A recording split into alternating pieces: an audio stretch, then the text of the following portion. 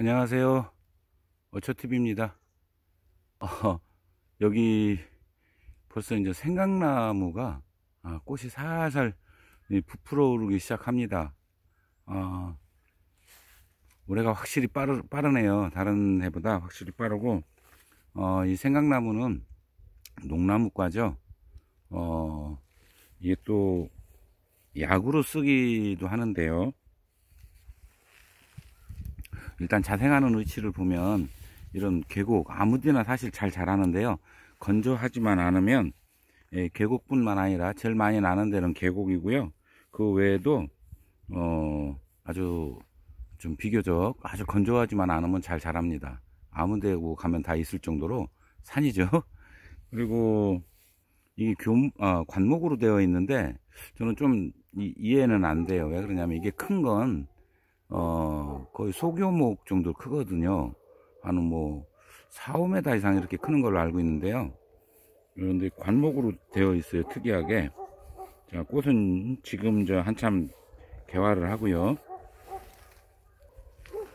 자, 이게 이제 약용으로 쓰이는데요. 그, 한방에서는 나무 껍질을, 어, 삼첩풍이라고 합니다. 주로 타박상이나 어혈, 어, 산후에 몸이 붓고 팔다리가 아픈 증세가 있을 때 에, 효과가 있다고 그래요.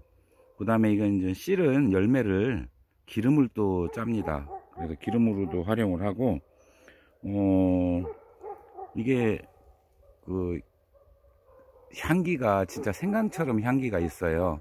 그리고 꽃은 또 꽃차로도 활용을 하죠.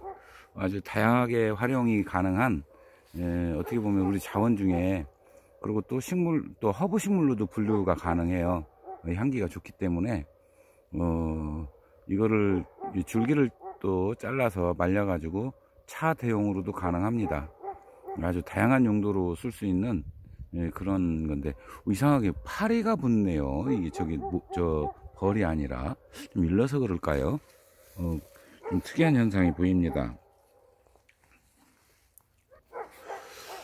그 외에 또 그 혈액순환에도 굉장히 좋다고 그러고요. 어, 마비 증상, 저림 증상 이런 거 있을 때 에, 혈관 질환 관련해서 예방 효과가 있다고 합니다. 그리고 이 허브 식물들이 공통점 중에 하나지만 우리 스트레스 예, 이럴 때 굉장히 완화시켜주는 좋은 효과가 있죠. 그 다음에 뭐 위통에도 진통제 효과로 효과가 있다고 그래요. 뭐 그렇게도 사용을 하고요. 뭐 고혈압, 수족냉증 그 외에도 뭐 다양한데요. 어 우리 그 몸속에 쌓이는 노폐물을 어, 밖으로 밀어내는 그런 역할도 한다고 그래요. 아주 다양한 저 그 어떤 그 효능이 있죠.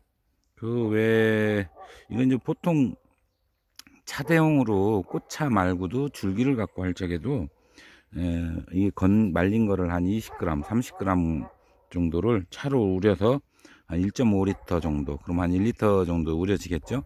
어, 이거는 어, 열이 좀 높게 해도 별 문제가 없다니까요. 그렇게 해도 어, 어, 가능하고 다만 장복은 금한다라고 했어요. 그럼 부작용이 있을 가능성이 있다는 뜻이거든요. 그런 정도만 음, 아시면 될 것 같고 이 생강나무 잎 갖고도 또 장아찌도 담습니다. 아주 다양한 용도로 쓰이는 것 같아요.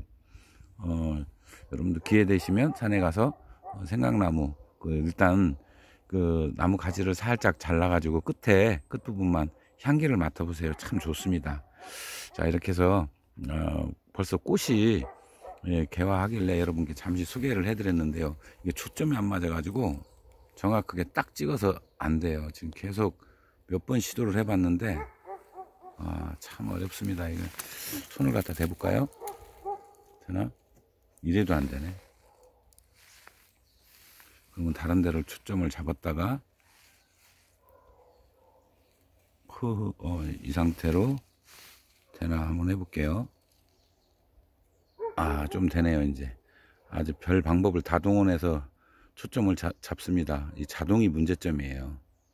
자, 이렇게 생겼습니다. 자, 여러분께 잠시 생강나무 꽃이 막 개화 직전이라 소개해 드렸습니다. 감사합니다.